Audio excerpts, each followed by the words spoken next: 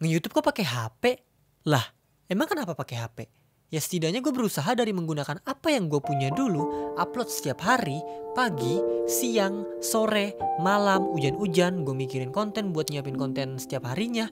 Ya walau gue record sembunyi-sembunyi uh, kalau rumah lagi sepi, sampai akhirnya ada perubahan sedikit demi sedikit di channel gue dan perlahan gue juga bisa upgrade HP dan sampai akhirnya suatu hari gue bisa beli PC dengan hasil keringet sendiri yang gue kumpulin dari nge-youtube selama 2 tahun di mana gue baru kekumpul duit buat beli PC di 80k subscribers dan ya bisa dibilang gue nge-youtube pakai HP sampai 80k subs dan alhamdulillah tercapai keinginan gue untuk bisa nge-youtube pakai PC ini gue selama 2 tahun nge-youtube pakai HP ini sampai 80k subs.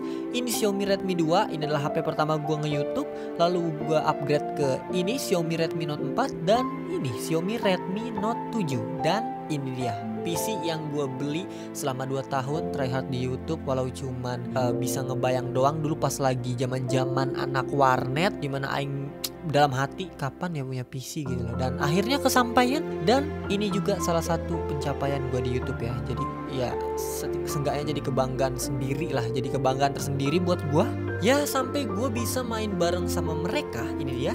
Nggak ada yang datangin apa nggak nggak nggak. Kenapa woi? Siap dari kamu pan? Jangkrik goblok. Iya kamu tuh dari kamu. Sini tolol. Di sawah-sawah kita. Ke apli langsung gagalin pal waktu pal ya kanan kanan. Kanan. Nggak balik tank ya? Ya balik balik situ. Ya. Nice oh, ya menurut gua kayak apa ya kayak sebuah pencapaian aja gitu loh. Bisa main bareng sama orang-orang yang dulu gue sempet idolain dan dulu cuman kayak berharap komen komen dibalas aja itu udah senengnya gimana gitu loh. Kalian tahu kan? Dan apalagi bisa main bareng sama mereka orang-orang yang bisa dibilang legend juga di dunia permain Indonesia dan ya pokoknya kayak gitulah cuy. Intinya gue cuman lebih memanfaatkan apa yang gue punya saat itu dan ya ada HP ya gunain aja gitu loh pakai alat seadanya.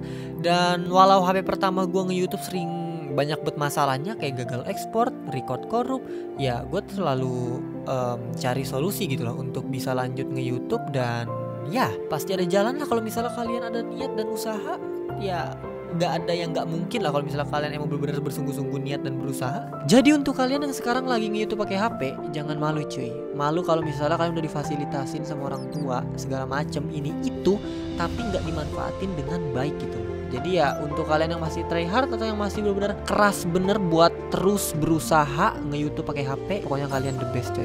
Pasti ada jalan kalau kalian berusaha dengan sungguh-sungguh.